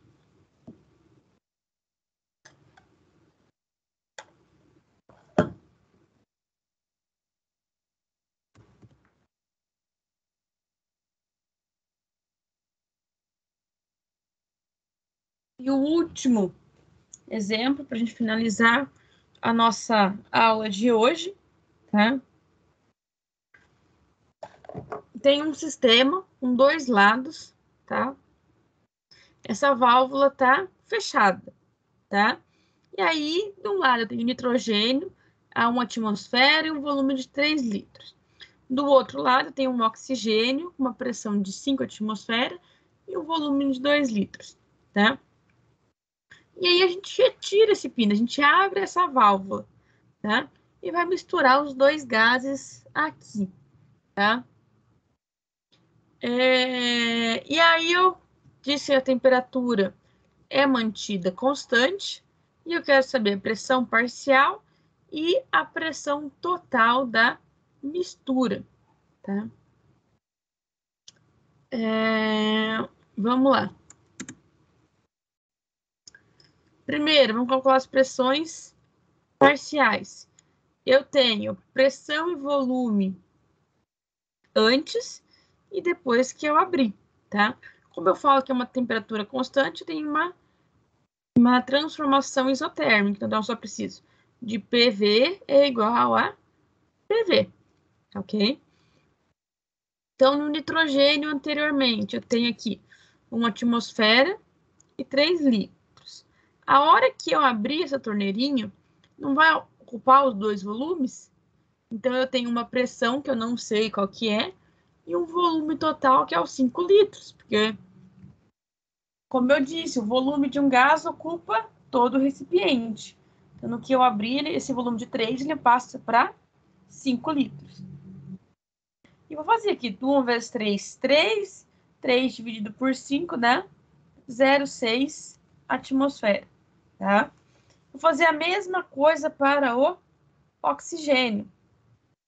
Então, inicialmente eu tinha 5 atmosfera e 2 litros. A hora que eu abri, eu não sei a pressão que eu tenho, mas o volume é 5 litros, que é a junção dos dois balões aqui. E aí eu acho a nossa pressão final de 2 atmosferas, tá? a pressão do oxigênio. Eu quero saber a pressão total da mistura, então eu vou juntar dois, eu vou simplesmente somar aqui as duas pressões que nós temos, tendo sempre a pressão total de um sistema. Então, sempre as pressões eu posso somar, volume que não, tá? É bastante coisa, mas vocês vão ter nove exercícios aí para brincar, tá? Então, vai usar as duas equações Quiser anotar, o primeiro é o PVNRT, o segundo é PVT-PVT, o terceiro é PVNRT, tá? O quarto PVT, PVT, tá? Aqui PV, PVNRT, PVNRT. A sétima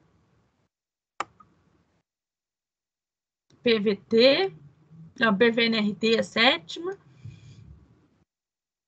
Aqui é, é a junção PVNRT e aqui PVT, PVT. Então, são as mesmas equações. Tentem fazer. Tá? Eu já vou mandar direto lá no grupo. E aí a gente vai ver o que ficou de dúvidas. E o mesmo esquema fazer para me entregar na segunda-feira que vem. Tá ok? Lembrando que sábado nós temos a nossa aula prática. É, vou mandar o roteiro já também, pelo menos um por grupo imprime. Vá nos horários definidos. Não esqueçam de ir com roupas adequadas, tá? Calça comprida sem rasgo, tênis ou bota, jaleco de manga comprida e cabelo preso para as meninas principalmente, tá? Qualquer coisa, me mandem mensagem que a gente vai se falando, combinado? Alguma dúvida? Algum quer falar alguma coisa?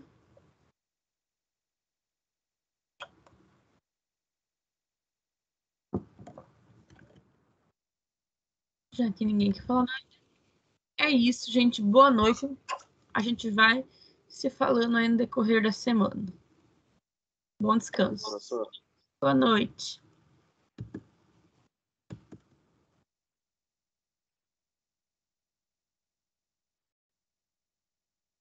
Boa noite, professora. Boa noite, bom descanso.